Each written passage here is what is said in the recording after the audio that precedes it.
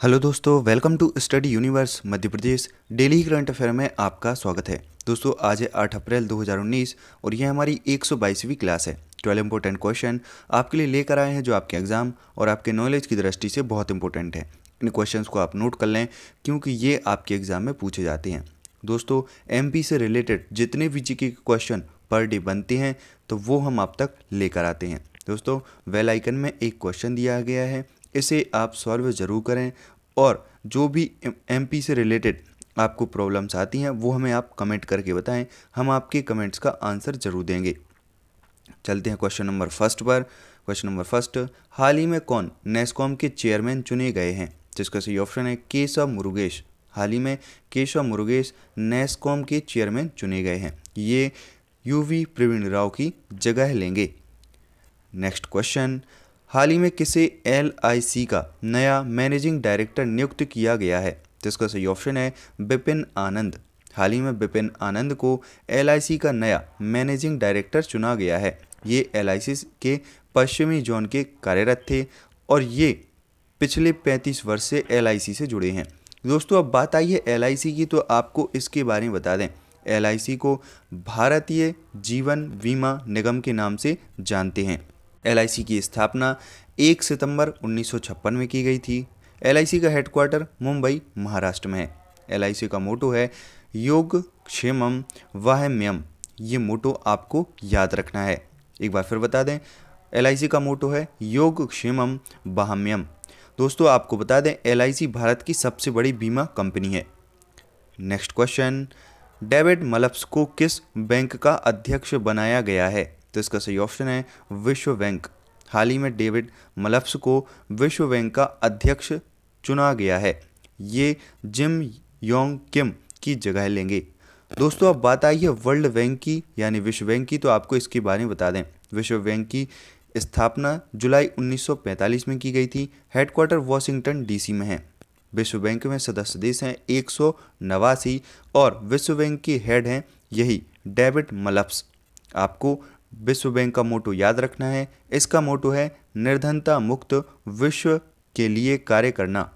तो इतना आपको वर्ल्ड बैंक के बारे में याद रखना है। Next question. हाल ही में कब राष्ट्रीय समुद्री दिवस मनाया गया है? तो इसका सही ऑप्शन है पाँच अप्रैल। हाल ही में पाँच अप्रैल को राष्ट्रीय समुद्री दिवस मनाया गया है। इस दिवस को मनाने का उद्देश्य समुद्री व्यापार और वैश्विक अर्थव्यवस्था को बढ़ावा देना है। दोस्तों आपको बता दें, इस दिवस की शुरुआत उन्नीस में की गई थी।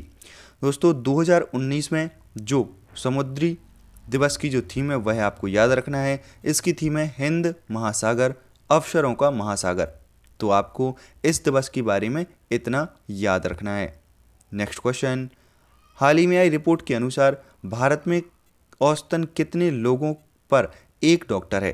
तो इसका सही ऑप्शन है ग्यारह हज़ार बयासी। हाल ही में आई रिपोर्ट के अनुसार भारत में औसतन लोगों पर एक डॉक्टर है तो इसका सही ऑप्शन है ग्यारह हज़ार बयासी।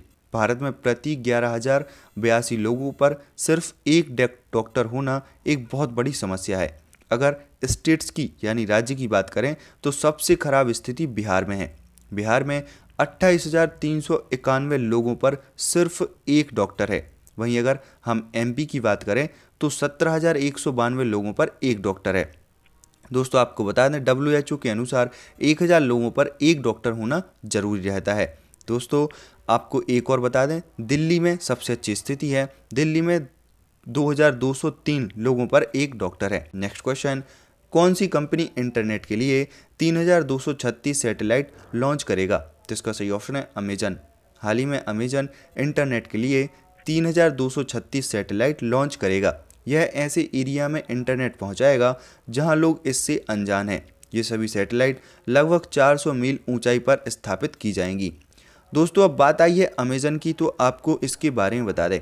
अमेज़न की स्थापना 5 जुलाई उन्नीस सौ चौरानवे में की गई थी।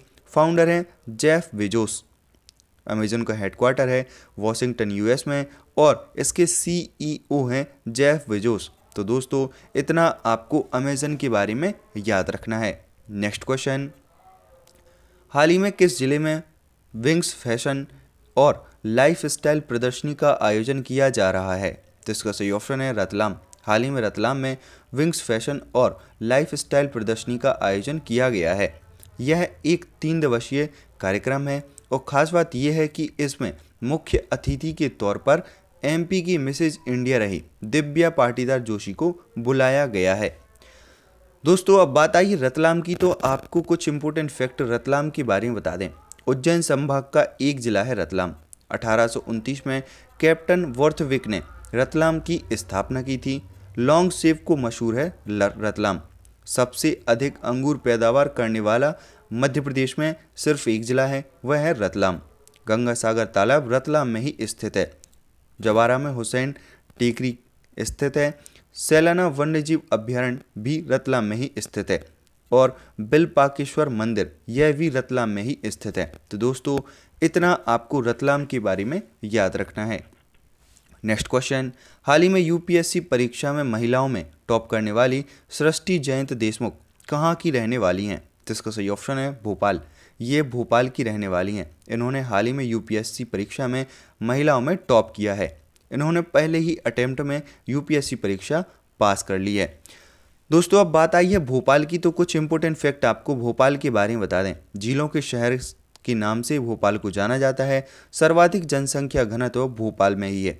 राष्ट्रीय विधि अकेडमी की स्थापना उन्नीस सौ चौरानवे में भोपाल में की गई थी। ताजुल मस्जिद देश की सबसे बड़ी मस्जिद भोपाल में ही स्थित है। विश्व का सबसे बड़ा सौर ऊर्जा संयंत्र, यह भी भोपाल में ही स्थित है। प्रदेश का पहला एनर्जी पार्क भोपाल में बनाया गया था और दोस्तों दो और तीन दिसंबर उन्नीस सौ चौरासी की रात को मिथाइल आइसोसाइनेट गैस का रिसाव हुआ था, जिसके कारण भोपाल में हज़ारों मौतें हो गई थी। Next question. मध्य प्रदेश में कहाँ देश का पहला हीरा संग्रहालय और नीलामी सेंटर बनेगा? तो इसका सही ऑप्शन है खजुराहो। खजुराहो में मध्य प्रदेश में देश का पहला हीरा संग्रहालय और नीलामी सेंटर बनेगा। इस संग्रहालय में 323 कैरेट के हीरे रखे जाएँगे, जो पन्ना की खुदाई के दौरान मिले थे। खजुराहो में ही क्यों यह बन रहा है तो इसका एक रीज़न है। दोस्तों, खजुराहो विश्व धरोहर और विश्व प्रसिद्ध है। यहाँ विदेश से बहुत मात्रा में पर्यटक आते हैं, जिस कारण यहाँ यह हीरा संग्रहालय बनाया जा रहा है। नेक्स्ट क्वेश्चन, हाल ही में मध्य प्रदेश के किस ज़िले में सरहुल उत्सव का आयोजन किया गया है? तो इसका सही ऑप्शन है, जबलपुर। हाल ही में जबलपुर में सरहुल उत्सव का आयोजन किया गया है। यह उत्सव आदिवासी समुदाय के लोग हिंदू नववर्ष शुरू होने की खुशी में मनाते हैं। दोस्तों, अब बात आई है जबलपुर की तो कुछ इंपॉर्टेंट फैक्ट आपको जबलपुर के बारे में बता दें। मध्य प्रदेश की सांस्कृतिक सांस्कृतिक राजधानी है जबलपुर। दूसरा सबसे बड़ा जिला है जबलपुर। भारत का पहला झंडा सत्याग्रह है 1923 में। जबलपुर में किया गया था। मदन महल, दुर्गावती की समाधि, धुआंधार जलप्रपात, यह जबलपुर में ही स्थित है। भारत का पहला विकलांग पुनर्वास केंद्र भी जबलपुर में बनाया गया है। मध्य प्रदेश का हाई कोर्ट उच्च न्यायालय जबलपुर में ही है।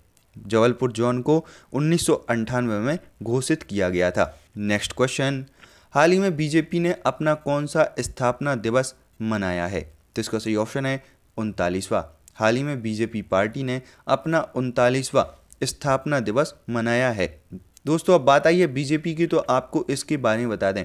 बीजेपी की स्थापना 6 अप्रैल उन्नीस सौ पचासी में की गई थी। हेडक्वार्टर दिल्ली में है और प्रेसिडेंट हैं अमित शाह है। दोस्तों, आपको बता दें, बीजेपी अकेली ऐसी पार्टी है जो विज्ञापन पर सबसे ज़्यादा खर्च करती है। तो दोस्तों, इतना आपको बीजेपी के बारे में याद रखना है। Next question. हाल ही में किस भारतीय को फीफा में सदस्य बनाया गया है? तो इसका सही ऑप्शन है प्रफुल्ल पटेल।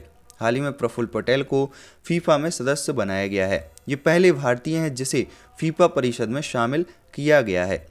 दोस्तों, अब बात आई है फीफा की तो आपको इसके बारे में बता दें। फीफा की स्थापना 21 मई 1904 में की गई थी। हेडक्वार्टर ज्वेरिक स्विट्जरलैंड में है। हेड हैं गियानी इन्फेंटिनो और फीफा का जो मोटो है वो आपको याद रखना है। इसका मोटो है for the game for the world तो दोस्तों, ये था हमारा आज का डेली करंट अफेयर आप हमारे चैनल स्टडी यूनिवर्स को सब्सक्राइब कीजिए वीडियोस को लाइक कीजिए शेयर कीजिए। कल हम आपके साथ फिर मध्य प्रदेश और वर्ल्ड के इंटरेस्टिंग फैक्ट को लेकर हाजिर होंगे। दोस्तों, ऊपर वेल आइकन में एक क्वेश्चन दिया गया है तो उसको भी आप सॉल्व करें। तब तक के लिए नमस्कार हैव अ नाइस डे